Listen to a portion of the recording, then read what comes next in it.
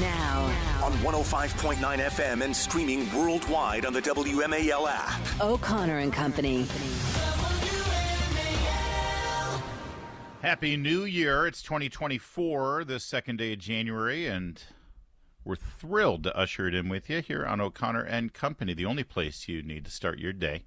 It's Larry O'Connor alongside Julie Gunlock. How's life Good in morning. Alexandria these days, Julie? It's good. It's good. Yeah, sure. Sure it is. Okay. Joining us right now, Denise Rucker Krepp. I ask because, as we just mentioned, the crime problem in D.C. is not isolated to the borders of the District of Columbia. The ripple effect is is uh, uh, is is palpable in Montgomery County, in Prince George's County, in Alexandria, Arlington, Fairfax, uh, and it continues to expand.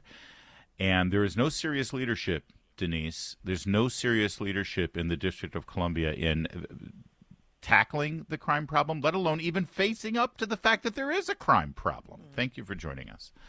Oh, thanks for having me. You're, you're talking about the crime like the 959 carjackings last year and the 274 homicides, and gee, we almost got to 7,000 cars stolen. Is, is, is that the minor crime problem you're referring to? Yeah, that the the one that District Chairman Phil Mendelson denied was even happening last spring. Yeah, yeah, he, he denied it. And you know what he did at the end of December?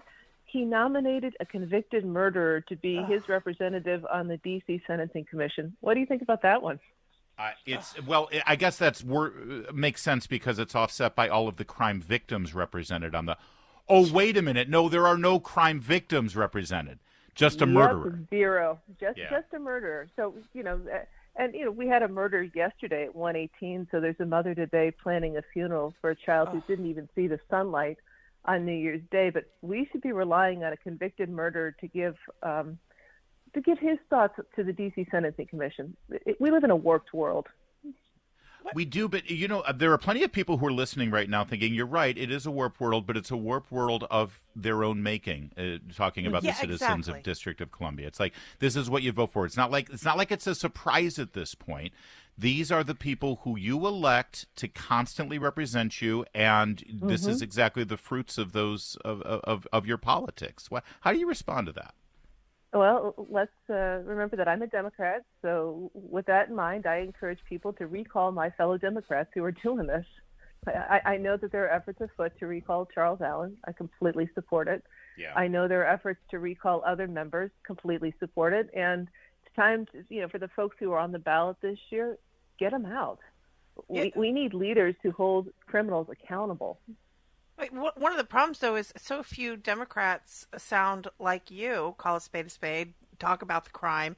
Talk about mm-hmm. actual solutions, real solutions. I mean, I sometimes feel like you kick one out and you get another one that ends up doing the same thing. What is the bench like? I mean, we know Republicans don't win in the district, but are there some good emerging candidates that you feel good about and would support?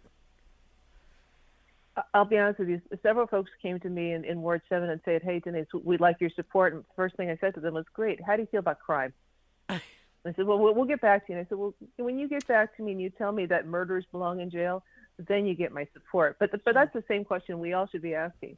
I, why are we voting for individuals who think that carjackers sh- shouldn't go to jail? Why are we voting for individuals who think that murderers should get out early? And rapists, too, by the way. I mean, we should all be asking the same questions.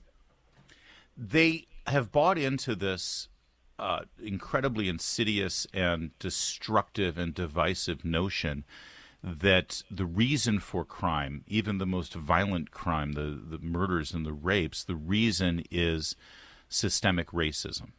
And and that is such an overriding philosophical, almost fanatical religious belief that you are willing to excuse murderers and rapists because, well, you know, what do you expect? Racism. I, I'm not going to talk about that. What I'm simply going to say is if you murder somebody, you belong in jail. If you rape somebody, you belong in jail. If you commit armed carjacking, you belong in jail. That's a very simple statement. And that's what we all should be saying. Murders do not belong on the streets. Murderers should not be advising the DC Council.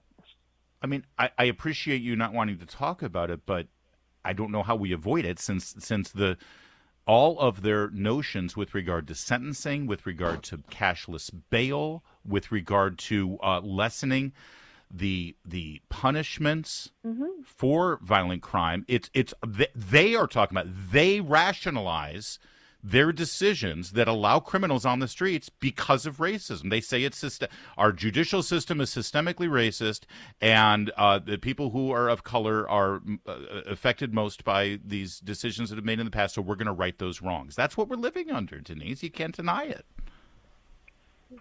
What I simply know is that I've got carjackings on my block. I've got murders occurring half block from my house, and I'm not the only one that's saying this in D.C. So what we should be focusing on is getting individuals who commit rape, murder, armed carjacking, assault, car theft in jail. And, and, and that's going to be my focus in 2024. And so every time the DC Council does something silly, like nominate a murderer to the DC Sentencing Commission, I will write uh, my testimony and say, don't do this. You know, if if you commit murder, I'll do a community impact statement saying he he or she belongs in jail. Denise, we're spending a lot of time talking about elected officials here, but I know mm-hmm. you also talk to, you know, people who work in the city, and and I mean for the city, the police mm-hmm. officers mm-hmm. in particular, and also you know just the people who sort of keep the the trains running. What is the morale like in the city among city workers, and are they do they also see this disconnect between elected officials and acting like the reality isn't the reality that that crime isn't a problem. What is you know i'm just kind of curious about the average person who works for the city. Are they shaking their heads and going what what is going on yes. here? Yeah. It, especially the police officers. I mean you've got a bunch of dc council members that are throwing them under the bus and saying how horrible they are. I'm looking at the situation are you kidding me? The, the, the men and women in the dc police are the reason we don't have more crime, yeah. but the DC Council doesn't support them. Mm. You know, it, it, it's a horrible situation. So another nice thing to have in 2024 would be the DC Council that supports the DC Police. Yeah, that would be nice. Uh, we're speaking with uh, Denise Rucker Krepp. She's a former uh, DC Advisory Neighborhood Commissioner and an outspoken critic of the current political climate that has created this crime problem in DC, and it, it is. This is this is happening because politicians are allowing it to happen.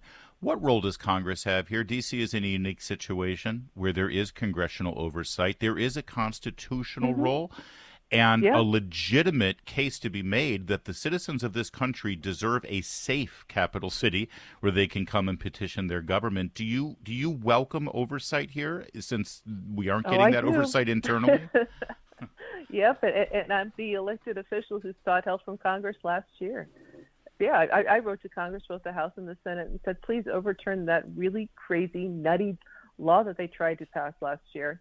And if we need the same this year, then we need it. I mean, we should all live in a safe city. And if we have a DC council that, again, is relying on murderers for mm-hmm. advice, then we need outside help to say, you know, maybe it's time we start talking to the victims' families instead of those that are killing people. Hmm. yeah.